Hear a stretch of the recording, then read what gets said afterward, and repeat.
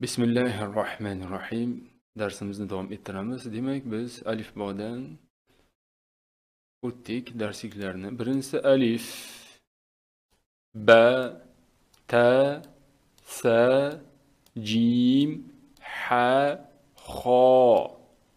Keyingisi dal dal harfi. Dal.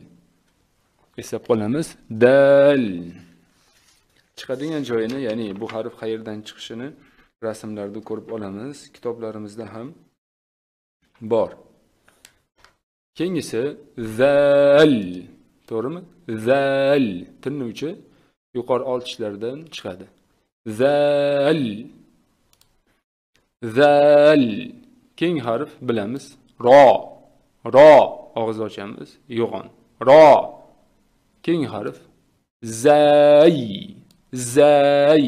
Alifbodagi nomi z tilnuvchi pastga rasmdan ko'ramizda va ko'rib turib talaffuz qilamiz. Zay zay. Demak uyga vazifa mana shu barcha harflarni yana bir bor takrorlab chiqish. Tushunarli demak biz z harfini o'tdik avvalgi darsda to'g'rimi? Buni o'qidik. Az iz uz zar zir zur qilib. Keyingi harfimiz m harfi m m m. Mim alifbodagi nomi mim. Endi bu yerda mim a demaymiz. M a tepasida a kelgani uchun ma deb o'qiymiz. Tushunarli pastdan tepaga. Bu hammi bu hammi bu hammi harf bu faqat so'zni boshida keladi bu o'rtasida bu oxirida keladi. Alohida shakli mana bu. Chunki alif o'zidan keyinga qo'l bermaydi shuning uchun alohida holatini berilyapti. Ho'p m tepasidan a kelsa qanday o'qiymiz? O'qiylikchi o'zimiz. Ma og'zimizni ochamiz. Ma. Endi bu yerda m pastga tushamiz. Mi. Bu yerda m tepasida nima? Mu. Demak bu ma mi mu bo'ldi. Tushunarli bu? M harfi eslab qolamiz m harfi. Ho'p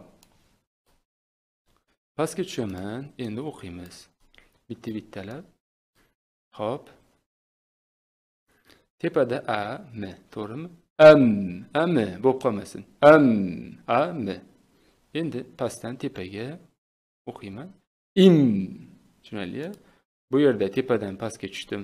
Am bu yerda pastdan tepaga im chunki alif kelgandan keyin birinchi alifni tepasida a turadim i turadim u turadim. Birinchi shundan boshlaymiz o'qishni tushunarlia im bu yerda nima bo'ladi? Um bo'ladi. Tushunarlia ho'p. Buni o'qidik.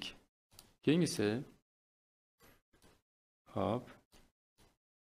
Endi bu yerda m dan boshlab o'qiymiz. Chunki alif siz keldi udan boshlamaymiz o'qishni. Nega? Chunki alifsiz kelyapti. Alif bilan kelsa to'g'ri u bilan o'qir edik. Alifsiz kelgani uchun birinchi tagidagi harfdan o'qishni boshlaymiz. Birinchi m u to'g'rimi? Mu. Keyin bu yerga kelamiz.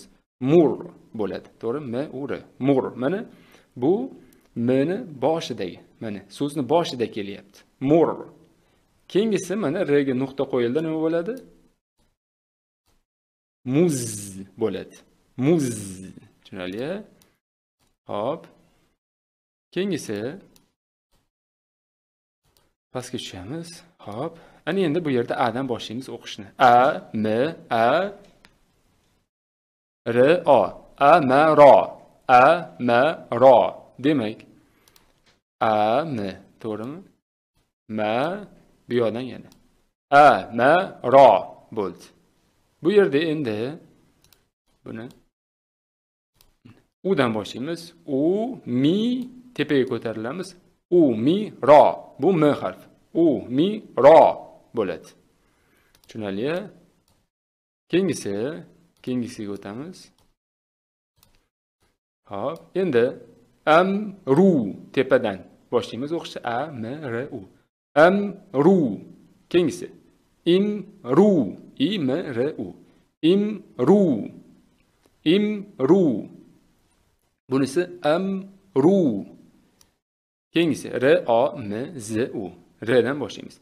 Ramzu emas nega? Rni tepasidan akasi olgan edi romzu zu z u. R o m. Bu tepasidagi dumaloq sukun belgisi. To'xtaymiz. Romzu romzu keyingisi qani mustaqil o'qib ko'raylik. Nima bu? Armi emas pastda kelyapti i bo'ladi. Ir mi ir mi ir rni o'qidik. Mi tushunarli. Qachon alif bilan kelsa birinchi a i ularni o'qiymiz. Alifsiz kelsa ini birinchi o'qimaymiz. Mdan o'qiymiz mana. Ir mi bu yerda idan boshladik. Ir mi.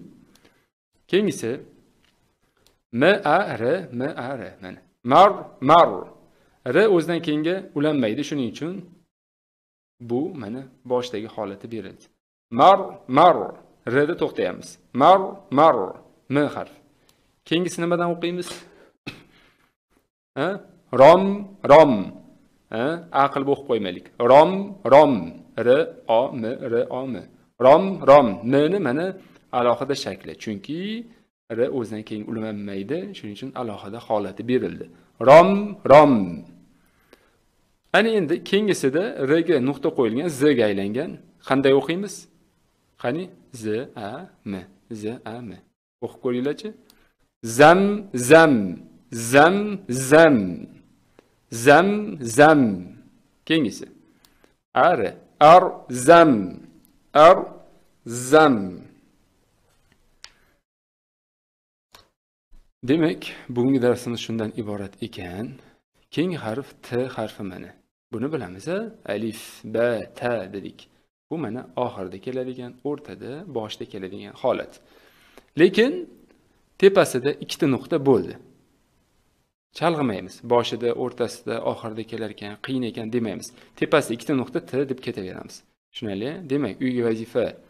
Alifbodan biz ro zaygacha o'tdik. Shuni yaxshilab qaytarib puxta qilib olamiz keyin z ni ham qaytarib olamiz keyin m harfini ham yaxshilab qaytarib olamiz.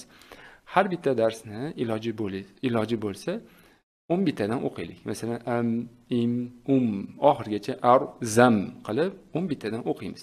Endi ko'p o'qiganda inson yodlab oladi. Shuning uchun o'zi mustaqil etib ketishi mumkin degan narsa bo'ladi. Shuning uchun sizlar alohida o'n bitta o'qib olgandan keyin darrov bundoq ko'rsatiladi. Romzu masalan. Buni shuni bittasi ko'rsatib beradi yoki o'zingiz qo'lingizni qo'yasiz. Romzu bu yoqdan. U mi ro bu yoqdan. Um bu yoqdan. Rom rom bu yoqdan arzam. Mana shunday qilib tez bu yerdan bu yerdan bu yerdan qilib tez tez adashmasdan o'qishimiz kerak. Mur. Mana. Mur. Bunisi bunisi nuqta bilan muz. Bu rum. Tushunarli demak bugungi darsimiz shundan iborat ekan. Vallohu a'lamu bis savob